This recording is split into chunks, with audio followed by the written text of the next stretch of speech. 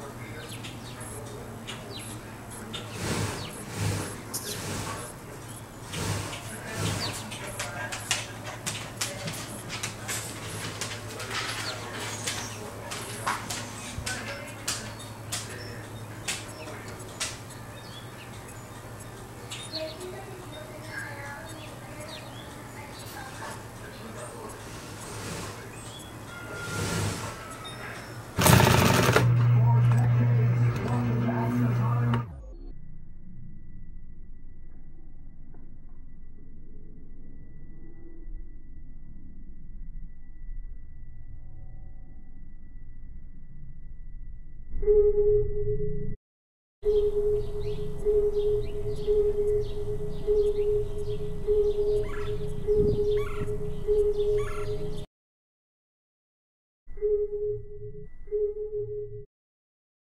manera desleal a sus espaldas para traicionarle y frustrarle nuevamente como otros regímenes lo hicieran en el pasado.